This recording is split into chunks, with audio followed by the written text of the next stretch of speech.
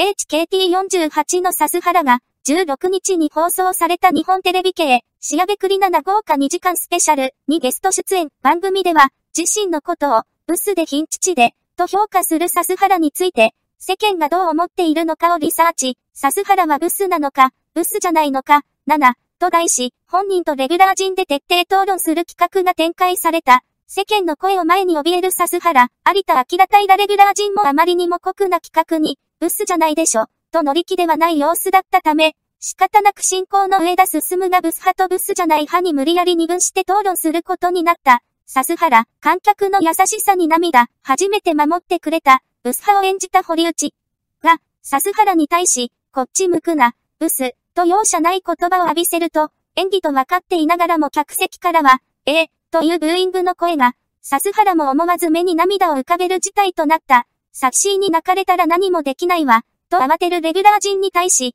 笹原は、違うんです。ごめんなさい、と涙を拭いながら返答を、ブス、と言われたことが悲しかったのではなく、お客さんが、ええ、って言ってくれて、守ってくれてると思って泣いちゃったんです。と涙の理由を説明し、ブスって言われる企画慣れてるんですけど、お客さんが初めて守ってくれたから、ごめんなさい、と観客の気遣いに感謝した。